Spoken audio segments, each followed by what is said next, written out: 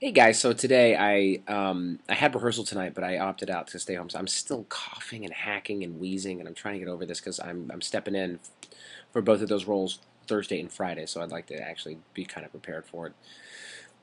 Um, just a little self rehearsal, but I'm also finishing editing up uh, some of the things we've been working on. Um, working on those, and I'm almost done. yeah. Uh, also, uh, my brother sent me a link to a friend of mine who um, I knew from high school and went to college together with for a couple of years. Uh, and he's doing stand up now, and I wasn't quite sure what to make of it uh, because he, he his jokes I don't they could be brilliant or they could be something else. Such jokes like So this year, Santa Claus, he's go he's drinking Pepsi and he's going in blue. And he's bringing us all big bags of jerky.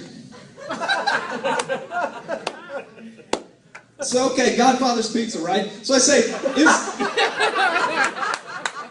yeah, I said, is the next, you know, he's not in the running anymore, but Herman Cain. Who were to think?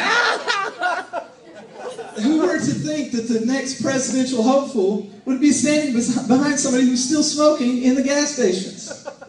You know, that that teller, that cashier, to be the head of state with, with Herman Cain, and then they can tell us the same thing: three ninety nine a gallon, three ninety nine a gallon. hmm,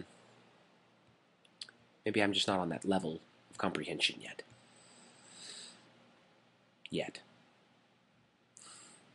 Anyway, until tomorrow, bye bye.